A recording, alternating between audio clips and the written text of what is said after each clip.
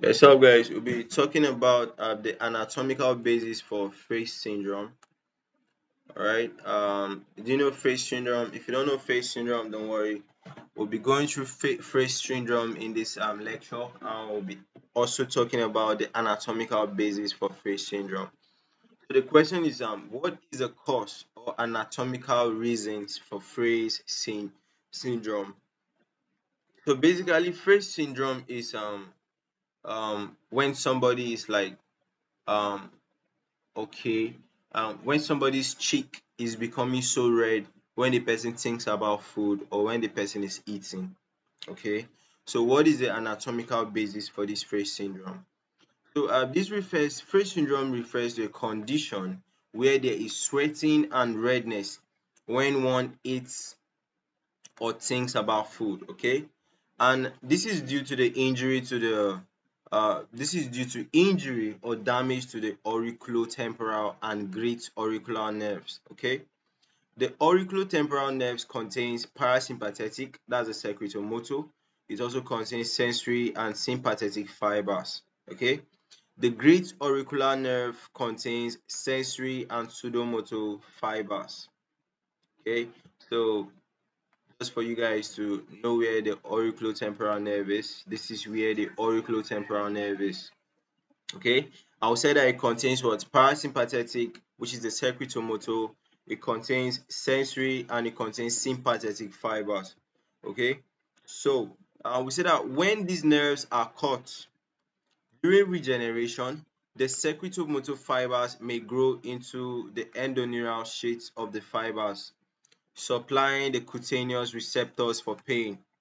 Okay, uh, okay, supplying the uh, cutaneous receptors for pain, touch, and temperature, and sympathetic fibers supplying sweat glands and blood vessels.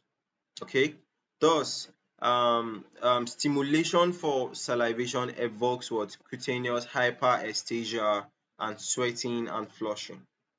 Okay, um,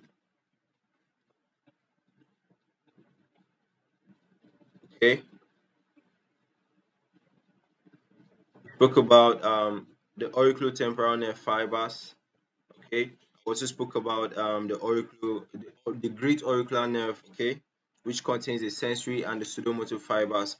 Say that when they are cut during the regeneration the secretomotor fibers may grow into endoneural sheets of the fibers supplying cutaneous receptors for pain touch and temperature and sympathetic fiber supplying what sweat glands and blood vessels. Thus, stimulus for salivation evokes what cutaneous hyperesthesia, sweating, and flushing. Okay, and the presenting features are when a person eats, the ipsilateral cheek, that's a cheek on the same side, ipsilateral, the cheek on the same side, um, that's around the parotid region would become red hot, and painful. And when a person shaves, there's a cutaneous hyperesthesia that's unusual or pathological what sensitivity of the skin or of a particular sense. Okay, that's hyperesthesia. When you are shaving your hair, for you to just feel the normal sensation, there's a hyperesthesia, that's a hypersensitivity. Okay, so this hyperesthesia is in the front of the ear. Okay, so guys, these are the anatomical basis for Frey's syndrome. And the main stuff is on the page you see right here. Okay, uh no. The main stuff is on this page. On this page where they spoke about um the auriculotemporal nerve, the fibers, and they spoke about the great auricular nerve fibers. Okay.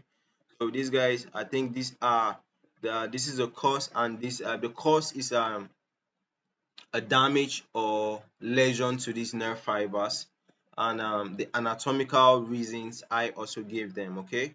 So see you guys in the next tutorial and bye for now